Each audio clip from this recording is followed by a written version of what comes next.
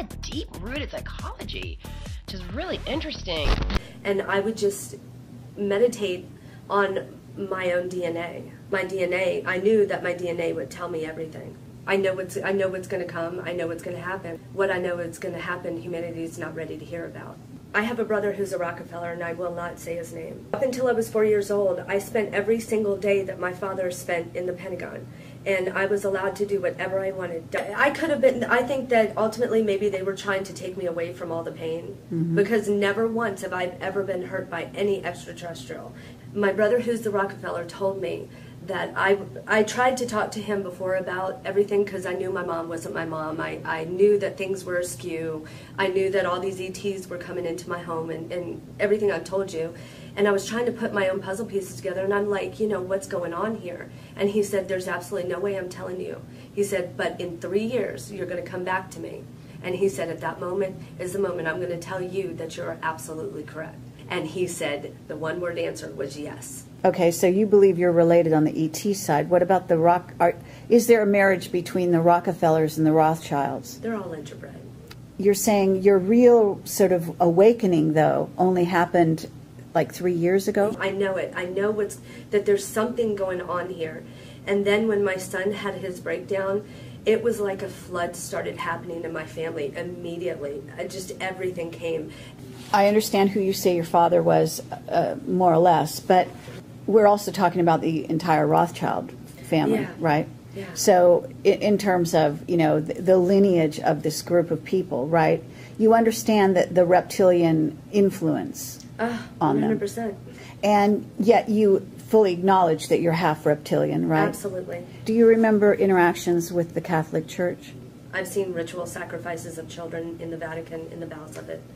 And are you also aware of what is called the Anunnaki? Okay. Absolutely. Anunnaki is a very it's a it, it encompasses many races. Searching for love any way I could get, and I was married at this time. You know, I've been mm-hmm. married since 1989, um, but I became extremely promiscuous, and that's my monarch programming. You know, that was coming out of me. I would always be promiscuous with military men. It was always a military man because I couldn't pinpoint why was I doing these behaviors? Why was I acting out? Why would I get so upset? Why would I? Uh, uh, go sleep with all these men. I have a beautiful, wonderful husband, and and I would go off searching for love, and I had unconditional love at home. So you knew you came from like the military-industrial complex, yes, so to speak. I even remembered the rapes that were done to me at four years old, but I didn't know why they happened to me. I thought it was just something that happened to me. I didn't realize it was part of the programming. That was my very initial breakdown. That was the the the time when they took me from one to two you, you understand what I mean, from right. personality to two. They took me away from the man that loved me so much, and that was Mangala, And, and that broke me in and of itself. And that breaking plus the rapes did it. Right now I'm talking to Erin. Right, absolutely. Is there multiple?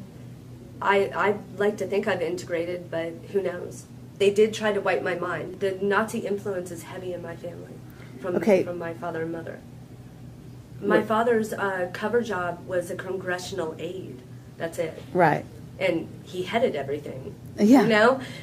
I have taught all of my children so that they're absolutely uh, aware of where they're from, who they are, and, and the fact that don't don't think it's a curse to be uh, uh, a half reptilian. See, the government knows how to take your soul and just put it in this one, or put it in this one, right. put it in this one.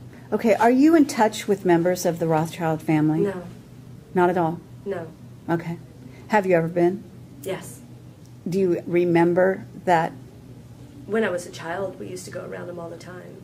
Because okay. um, as a child, I um, I was very used to being around Kennedys, around Rothschilds, around Rockefellers, around all of that, those elite. My father always was uh, taking me around them. A genius thinks he's so smart.